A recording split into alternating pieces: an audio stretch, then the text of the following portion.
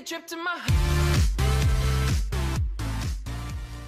Hi Freunde und herzlich willkommen hier bei Archie Gaming, Flo wieder am Start. Heute gibt es weitere Squad Building Challenge. Wir haben uns vorhin schon um die Mesut Özil Squad Building Challenge gekümmert und jetzt geht es um die Foot 09 SBC. Die wollen wir heute gemeinsam zweimal angreifen, einmal auf dem SBC-Account und einmal auf dem Hauptaccount. Es gibt heute ein 50k-Set zurück, das Ganze untradable und die SBC selber ist zwei Tage verbleibend. Falls ihr generell zum Foot Birthday oder Foot Geburtstag keine weitere Squad Building Challenge mehr verpassen wollt, kann ich euch schon mal eins an die Hand legen und zwar gerne ein Abo dazu dazulassen. Ja, folgt uns gerne auch auf Twitch, denn da werde ich nachher auch noch live gehen gegen 23 Uhr. Falls ihr also keinen weiteren Content mehr in Bezug auf den Foot Birthday verpassen wollt, lasst hier gerne ein Abo da, gerne die Glocke aktivieren, so verpasst ihr keinen weiteren Content.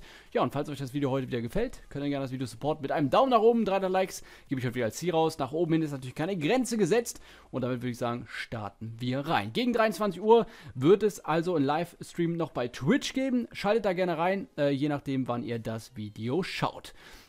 Ja, und somit würde ich sagen, starten wir rein. Es ist eine zwei Wochen lange Promo, die hier auf jeden Fall mindestens läuft. Und wie gesagt, vorhin haben wir uns schon um die Mesut Löser SPC gekümmert. Könnt ihr oben rechts einmal abchecken. Ja, und dann seht ihr es da auf der rechten Seite die Foot 09 SPC. Da heißt es einmal, feiere den Foot Geburtstag und baue ein Team um diesen zeitlosen Foot 09 Spieler auf. Zwei Tage ist das Ganze verbleibend. Und wie gesagt, ein 50k-Set, ein seltenes Spieler-Pack an Tradable. Ihr könnt mir natürlich gerne in die Kommentare schreiben, was hattet ihr in eurem Pack drin? Hattet ihr Packlack? Ja oder nein? Gerne damit in die Kommentare, würde mich auf jeden Fall extrem interessieren.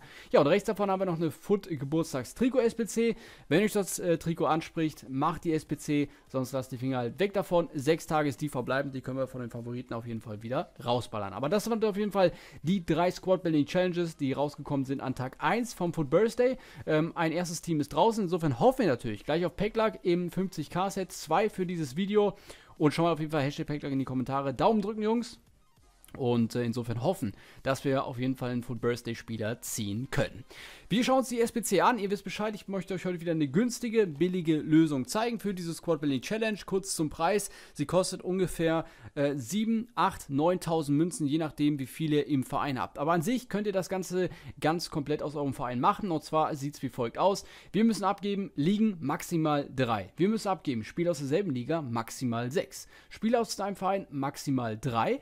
Selten mindestens 5 Spieler und wir müssen mindestens 76er Rating erreichen. Die Teamschmie beträgt nur mindestens 85 und wir haben einen Block, wie ihr sehen könnt. Vorne hier drin äh, Norwegen, Ashton Villa und äh, Agbondauer dürfte das auf jeden Fall sein, ähm, der hier auf jeden Fall quasi als Block gewertet wird. Ja, heißt, wir müssen auch nur 10 Spieler abgeben. Heißt fürs Rating, wir müssen natürlich den Block mit einberechnen. Aber durch die Voraussetzung, Spieler aus derselben Liga, maximal 6, ist das eigentlich ganz einfach. Und zwar geht ihr einfach vorne hier in die Premier League, wenn ihr Bock drauf habt, ähm, und werdet einfach 6 Premier League-Spieler, sowohl im Mittelfeld als auch im Sturm noch hier, dann verwenden und unten in der Innenverteidigung, aber auch bei den Torhütern geht ihr dann in eine separate zweite Liga rein. Ja, und das ist eigentlich das Ganze, was ihr machen müsst. In meinem Beispiel werden wir jetzt in die Serie A gehen und vornehin in die Premier League. Dafür gehen wir erstmal rein und zwar in die Premier League und gucken, was wir für da, äh, was wir da für Spiele am Start haben. Ihr geht bei euch in euren Verein und guckt, was ihr da für Spiele am Start habt. Ihr könnt das Ganze natürlich gleich auch wieder 1 zu 1 nachbauen. Ihr wisst Bescheid, ich zeige euch da immer Lösungen, die könnt ihr 1 zu 1 nachbauen. Aber es ist, wie gesagt, kein Muss. Es ist kein Muss, diese SPC 1 zu 1 nachzubauen. Ähm, es, ist ein, äh, es ist ein Kann, aber kein Muss. Und ich weiß aber, dass die einen oder anderen immer gerne auch eine Lösung haben, die man dann wirklich eins zu eins so kopieren kann. Und deshalb mache ich das für euch. Ich hoffe, das Ganze gefällt euch. Wenn ja, wie gesagt, supportet das Video einfach. Und ihr seht ja, die, die SPC geht zwei Tage und danach geht es ja natürlich auch direkt wieder weiter. Ähm, ja, und dann wird es die wahrscheinlich Foot 10 SPC geben. Ich weiß es nicht, wie das Ganze weiterläuft. Auf jeden Fall ähm, gucken wir jetzt noch, dass wir den Igalo, ich glaube, ich glaube, er dürfte reichen vom Rating her. Und dann dürften wir es reichen, wenn wir Cater hier als äh, RM reinstellen für ZM-Position. So, und dann gehen wir in die Innenverteidigung und da gehen wir, wie gesagt, in eine zweite Liga rein. Ob das jetzt, wie bei mir im Beispiel, die Serie A ist oder bei euch die Liga, die spanische Liga oder was auch immer, das ist komplett egal. Wir geben auf jeden Fall ab einen ISO, dann geben wir ab einen Mancini und einen GG. Ähm, ja, und in der ähm, Torwartposition geben wir wieder einen Italiener ab und zwar Seppe, den haben wir als Goldkarte am Start. Ähm, wir switchen kurz noch die Seiten und so dürften wir das Ganze auf jeden Fall 1 zu 1 nachbauen. Ist es so richtig? So ist es auf jeden Fall. Ich glaube, die beiden switchen wir noch. Lass mich noch mal kurz gucken. Ich bin auf jeden Fall gleich wieder zurück. Ah, da war es schon auch direkt. Also wir haben es hier ISO einmal getauscht mit JJ und dann haben wir die 92er äh, Teamschmied, die wir hier brauchen, denn wir haben wie folgt folgendes hier am Start. Wir haben ähm, 1, 2, 3, 4, 5, 6, 7 Erstbesitzer am Start. Das heißt, wenn ihr das Ganze 1 zu 1 nachbauen würdet, kommt ihr exakt auf diese 85 Teamschmied. Deshalb war es mir wichtig, diese drei Chemiepunkte auch noch rauszuholen. Und wie gesagt, äh, ihr könnt hier vorne reinstellen auch Stürmer. Ihr seht jetzt zum Beispiel 6 Teamschmied bekommt ihr dieser Igalo Ronaldo ist für mich Erstbesitzer und äh, ja, rechter Stürmer G äh, Deolefeo passt natürlich hier perfekt rein, aber auch ein ZM Cater reicht hier von der Chemie heraus. Ähm, also ihr seht, da könnt ihr auf jeden Fall einige ein bisschen out of position stellen, wenn man das so möchte, aber sonst vom Prinzip her, wie gesagt, dürfte euch jetzt klar sein, unten in eine Liga gehen und oben in die Premier League. So, gehen wir das Ganze kurz durch. Wir haben am Start einen Seppe, dann haben wir Mancini am Start, wir haben Iso am Start, wir haben JJ am Start, wir haben Keita, außerdem ein äh, Galoba, dann haben wir äh, Matic, wir haben einen Cessenor und vorne im Sturm dann Deolefeo und Igalo. Ja, das ist auf jeden Fall der Squad, den wir hier abgeben wie ich finde, eine simple Squad Building Challenge und eigentlich ein 50k-Set wirklich for free. Gerade jetzt zum Food Birthday, ähm, eine richtig geile Squad Building Challenge direkt zum Start. Eine kleine Puzzle-SPC mit einem 50k-Set, das ist wirklich nicht normal ähm, und insofern müssen wir das auf jeden Fall mitnehmen und auf unser Packler kaufen. Ich habe auch sogar noch ähm, von gestern ähm, dieses Set aufbewahrt. Da waren die 283 Plus Spieler drin. Darum haben wir uns gestern nicht gekümmert. Deshalb machen wir das jetzt erstmal als erstes auf und hoffen dann im Packlack ähm, auf Packlack im 50k-Set. Also, und dann gehen wir natürlich gleich auch noch rüber auf den. Oh mein Gott, was ist das denn bitte für eine Animation, Jungs?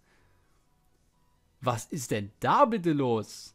Rechtsverteidiger, es wird Cesar Aspilicueta. 84er Cesar Aspilicueta, lange nicht mehr gezogen. Was waren es? 283 plus Spieler, also hoffentlich sind es zwei 84er. Mal gucken, was es wird. 83er Anderson Zaliska und Aspilicueta. Auch die natürlich untradable, aber Preis natürlich hier so ein Aspilicueta auch wegen der ähm, SBC von Ösil natürlich jetzt auch nochmal hochgegangen. Ja, und jetzt das 50k-Set. Richtig geile Animation, Jungs. Pack-Animation ist auf jeden Fall on point, würde ich sagen. Passend zum Thema direkt hier am Start. Alter, sieht das geil aus mit den Luftballons auch noch auf den Seiten. Und es wird ein, ah, leider nur ein Wandspieler im ersten 50k-Set. Komm schon, Torwart. Ah, Sirigo. Ja, moin. Da muss ich aber ganz, ganz dringend los. Da muss ich aber ganz, ganz dringend los. Ähm, ja. Ist jetzt so. Nehmen wir so mit. Und äh, damit würde ich sagen, springen wir rüber. Und zwar auf den Hauptaccount. Und gucken mal, was wir hier noch sonst am Start haben. Immerhin 284er mit Sirigo und Martinez. Sogar drei. Mit Winaldum auch noch am Start. Das ist mal gar nicht so schlecht. Abraham noch als UCL-Karte. Ja, so ein ganz schlechtes 50k-Set ist es nicht mit 384ern. Aber wir gucken mal, was wir jetzt äh, auf dem Hauptaccount ziehen. Mal schauen. So, und da springen wir rein in die Foot 09 SPC und gucken jetzt erstmal, was wir für Premier League-Spieler natürlich am Start haben und gucken, dass wir das Ganze auf jeden Fall so gut wie möglich und so schnell wie möglich gelöst bekommen. Gehen wir erstmal rein in den Sturm und gucken, was wir da für Spieler theoretisch am Start haben. Nicht wirklich viele, aber vielleicht reicht es ja auch aus. Wir gucken vom Rating mal her, vielleicht sonst Saar als Mittelstürmer habe ich kein Problem mit den abzugeben. Wir gucken im Mittelfeld direkt mal nach, wie wir da so alles haben. Ihr habt gesehen, ich habe den Inform von Zar Maximau theoretisch auch am Start. Also gibt es auf jeden Fall genug Möglichkeiten. Sissoko hätte ich jetzt theoretisch auch kein Problem. Ähm, ich habe 37 Sets ähm, hier schon aufgespart. Da wird es übrigens morgen ein äh, Pack-Opening geben. Also zumindest auf jeden Fall erst ersten Upload. Wir schauen mal im Stream auch gemeinsam noch, was wir vielleicht machen für ein Video als ersten Upload morgen früh. Ähm, und dann wird es da auf jeden Fall noch nähere Informationen geben. Aber morgen auf jeden Fall der erste Upload wird auf jeden Fall richtig heftig werden. Da könnt ihr auf jeden Fall äh, gespannt sein. Und jetzt müssen wir noch zwei seltene mindestens dabei haben wie ich sehe.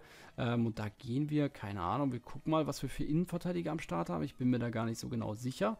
Wir stellen mal ein Gold- und Innenverteidiger und gucken, was wir so Schönes haben. Also ich habe mir wirklich lange keine Packs mehr geöffnet auf dem Hauptaccount. Das kommt halt dazu. Aber ich denke trotzdem, hier mit der Bundesliga sind, wir doch gar nicht so schlecht beraten, oder Jungs? Sind wir doch gar nicht so schlecht beraten, wenn ich das hier gerade so mal so sehe.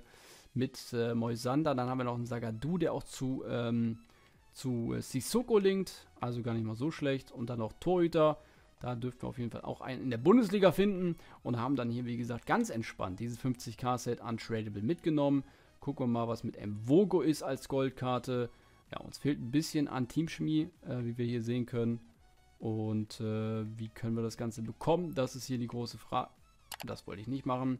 Ich wollte eigentlich die ZMs mal eben tauschen. Da dürfte es auf jeden Fall von der Chemie hier eigentlich reichen. Wir gucken uns das Ganze eben mal kurz an. Und zwar, wenn wir diese beiden hier switchen, jawohl, genau, 86er Teamchemie, der England-Link hilft auf jeden Fall weiter. Und äh, damit gehen wir das ab. Das Ganze könnt ihr jetzt nicht eins zu eins nachbauen. Ihr seht, das sind alles Erstbesitzer, ganz, ganz wichtig hier zu erwähnen. Aber ihr seht, wenn ihr komplett Spieler aus eurem Verein nimmt, geht das Ganze auch so mit dem gleichen Prinzip. Also, ganz, ganz wichtig zu wissen, 50k Set Nummer 2 fürs Video. Und damit schicken wir das Ganze ab. Foot 09 SPC, mal gucken, was in zwei Tagen kommt. Dann logischerweise eigentlich die Foot äh, 10 SPC und das dann über zwei Wochen, kann ich mir auf jeden Fall gut vorstellen. Alle zwei Tage diese Pulse SPC. Ich hoffe, ich werde immer passend dazu ein Video machen. Ist auf jeden Fall mein Plan. Wie das Ganze dann läuft, werdet ihr weiterhin sehen. Und ihr seht 38 Sets jetzt hier am Start. Ähm, ich glaube, wir gucken mal gerade. Auf jeden Fall habe ich ein seltenes Spielerpack am Start. Da ist eins. Ob das jetzt das Untradable Pack ist, keine Ahnung. Ähm, ich werde jetzt einfach mal das hintere Set aufmachen, in der Hoffnung, das ist das Untradable Pack. Ich glaube, alle drei sind äh, untradable. Egal, wir machen es auf. Seltenes Spieler-Pack, 3, 2, 1. Let's go. Komm schon, 50k-Set. Yay, hau was raus. Wo ist der von Birthday-Spieler? Das wird noch nicht meine Wand. Das wird noch nicht meine Wand. Es wird ein UCL-Spieler. Ach du heilige Neune. Zapata.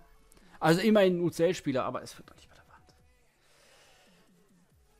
Ah, also ganz ehrlich, auf dem Hauptaccount die 50k-Set von dem Weekend League Rewards und so weiter und so fort, Alter, die sind doch gerickt. Das ist, das ist, das ist irgendwas los mit den 50k-Sets. Jedes Mal, wenn ich hier auf dem Hauptaccount ein 50k-Set ziehe, sieht das exakt so aus, wenn nicht sogar noch schlechter. Corona ist auch am Start. Eieiei. Akinfeev kommt auf die Transferliste und damit soll es das gewesen sein mit meinen beiden 50k-Sets. Eure Meinung könnt ihr gerne in den Kommentaren hinterlassen. Ich hoffe, ihr hattet mehr Packlack. Schlechter geht eigentlich gar nicht. Ähm, ja, und damit reingehauen. Bis zum nächsten Mal. Ich hoffe, wir sehen uns wieder äh, morgen dann oder gleich schon um 23 Uhr, wie gesagt, bei Twitch und morgen dann sowieso wieder bei YouTube. Insofern reingehauen. Bis zum nächsten Mal. Euer Flo von Archie Gaming. Ciao, Leute.